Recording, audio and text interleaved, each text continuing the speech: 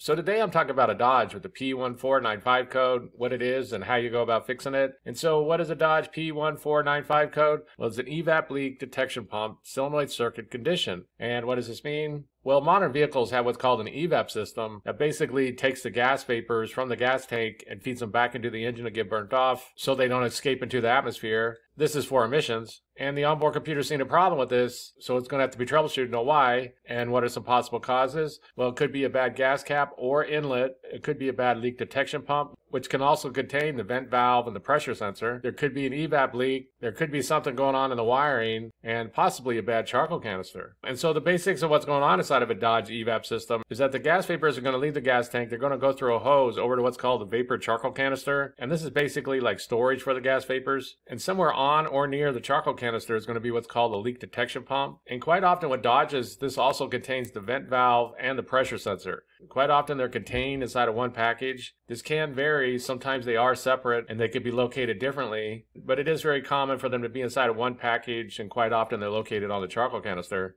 But just keep in mind that these can be separate and they can be located differently. And then a hose is going to leave the charcoal canister. It's going to go up to the top of the engine, what's called a purge valve. And the purge valve basically opens when the engine's running, so the gas vapors can go in and get burnt off. Then it closes when the engine's not running, so they don't escape. And so the first thing to go and check out is going to be the gas cap because the gas cap is a part of the evap system. It needs to seal properly or else the evap system won't work correctly. So go and check it out. Be sure it's not cracked, damaged, that that seal inside of there is working and things like that. And this includes the new Dodges with no gas cap. Basically go and check it out and be sure this inlet isn't stuck open or anything like that. And so if the gas cap looks good, then the next thing to go and check out is going to be that leak detection pump a bad leak detection pump is going to be the most common problem with the P1495 code. So go and check it out. Be sure to check out the wiring because that can also cause issues. Like I said, quite often they're located on the charcoal canister, but sometimes they can be located differently it can be a good idea to get a diagram for your particular Dodge to see how everything's laid out and just to see what's going on with it. For example, here's a 2003 Dodge Dakota, and as you can see, leak detection pump and the vent valve is all contained inside of one package and it would be located on the charcoal canister. But the next thing they're going to do is to test or replace that leak detection pump. And so if you check out the gas cap, that's good. The leak detection pump's good. There's no problems here but you're still getting this code, then very likely there's a leak somewhere inside the system. One of these hoses is leaking or one of these components is leaking and it's just going to have to be found. And so you can go around and look at all these hoses to see if anything's become damaged or disconnected or things like this,